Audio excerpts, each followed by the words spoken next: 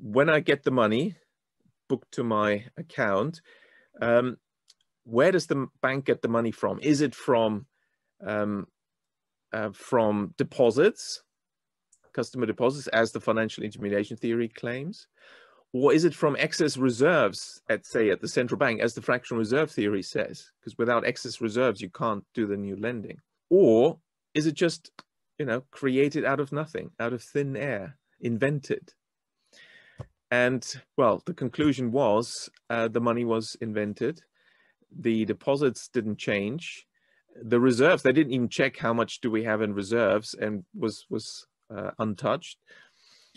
Um, and it was simply newly credited to me. Now if you look at the legal side for those who are interested in this question from the legal perspective it's actually um, it's most clear. It's you know clearly visible what's what's going on because what the bank really does is when you when you get a loan a mortgage whatever the moment you sign the loan contract, that can be considered, and the bank does consider it as a promissory note that you've written. In other words, it's security, it's an IOU that you've issued as the borrower. Of course. And you promise, it's a promise to pay you, you to repay this money. So really you've issued a security, like when the you know the, the government issues treasuries, you've issued your your loan, your mortgage treasury, your security. Okay.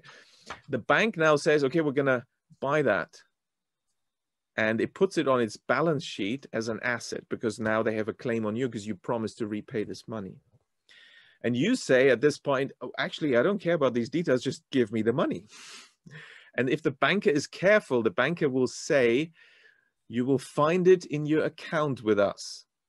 Mm-hmm. They may carelessly say, oh, we've transferred it to your account. That would be technically wrong because no transfer takes place. That's what I confirmed in that empirical experiment that when I got the money, it was not transferred from any other account. I mean, you know, you can see uh, where does it come from? And it didn't come from any other account inside the bank or outside the bank.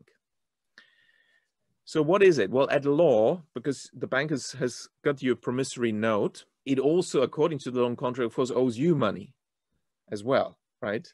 That's the money that you want in the first place. That's why you went to the bank for the loan. Now, that means there is an accounts payable liability that the bank has because, you know, it, it hasn't paid you, but it needs to pay you.